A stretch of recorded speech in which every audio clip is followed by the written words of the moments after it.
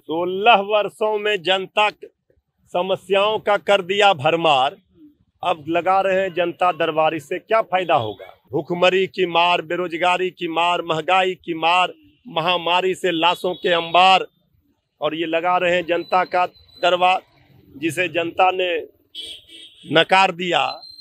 अब वो जनता के दरबार लगा कर क्या करेंगे? जनता को परेशानियों का सामना करना पड़ता है, दूर दराज से लोग आते हैं। आज जो जनता दरबार में जिस तरह से भीड़ उमड़ी है, उतना, उतने लोगों की तो वो सुध भी नहीं लेंगे।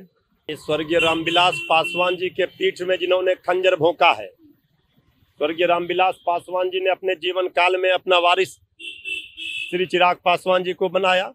आज जिनके चिराग पासवान जी हनुमान बने थे राम ने ही हनुमान के बंगले में आग लगा दी। स्वर्गीय रामविलास पासवान जी के घरों में। पाँच साल बाद एक बार फिर से सूबे के मुखिया नीतीश कुमार ने जनता दरबार लगाया है और खुद नीतीश कुमार जो है बिहार की जनता से रूबरू होंगे और उनकी समस्याओं का निपटारा जो है ऑन द स्पॉट करेंगे। आरजेडी की प्रवक्ता मृत्युंजय तिवारी हमारे साथ है। मृत्युंजय जी, पाँच साल बाद एक बार फिर से जनता दरबार की शुरुआत क्या कहते हैं? क्योंकि जिस तरह से बिहार में भ्रष्टाचारी अफसरशाही बढ़ गई थी, उसी को लेकर नीतीश कुमार ने अब जनता दरबार लगाने का फैसला किया है। सोलह वर्षों में जनता समस्याओं का कर दिया भरमार। अब लगा रहे हैं जनता दरबार इससे क्या फ़ायदा होगा? चारों ओर मचा है हाहाकार। आज जो जनता दरबार में जिस तरह से भीड़ उमड़ी है, उतना, उतने लोगों की तो वो सुध भी नहीं लेंगे। लंबी कतार देखी जा रही है। इसी से अंदाज़ा लगाया जा सकता है कि किस तरह समस्याओं का भरमार अंबार लगा हुआ है। जनता के साथ तो न्याय नहीं हो पा रहा है।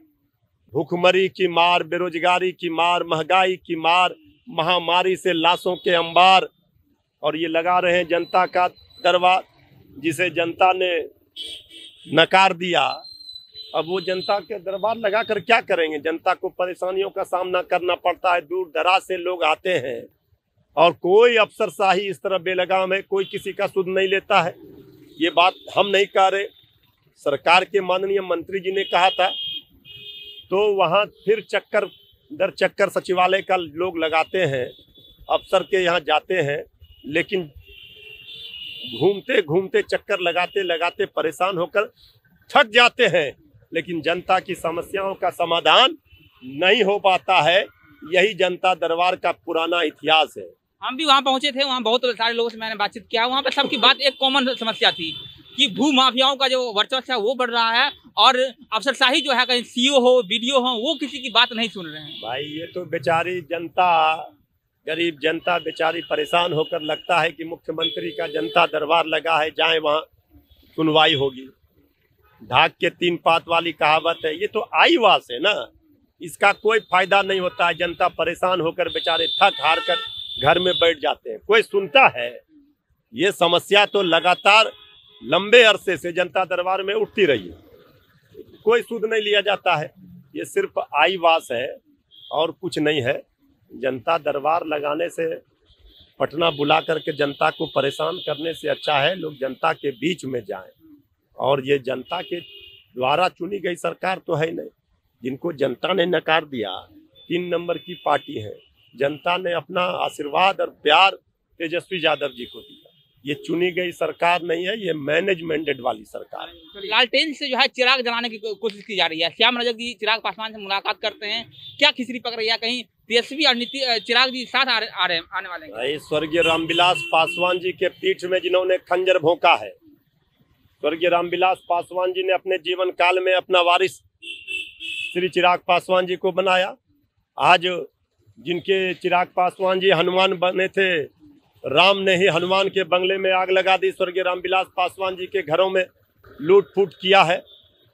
तो जो लड़ाई स्वर्गीय रामविलास पासवान जी दलितों के बड़े नेता थे, दलितों, वंचितों, शोषितों, पीड़ितों के हक और हकूक की लड़ाई आदरणीय लालू प्रसाद जी के साथ मिलकर स्वर्गीय रामविलास पासवान जी ने लड़ी थी। वही लड़ाई आज तेजस्वी यादव जी लड़ रहे हैं और जनता का प्यार और आशीर्वाद मिला हुआ है। श्री चिराग पासवान जी के बारे में तो तेजस्वी यादव जी ने ही क्लियर कर दिया। अब निर्णय उनको करना है कि वो किस राह को चुनते हैं। संविधान बचाने वालों के साथ रहते हैं, लोकतंत्र बचाने वालों के साथ रहते हैं। ये जो संविधान विरोधी, गरीब विरोधी, नौजवान विरोधी, किसान विरोधी सरकार है, उसके साथ रहते हैं।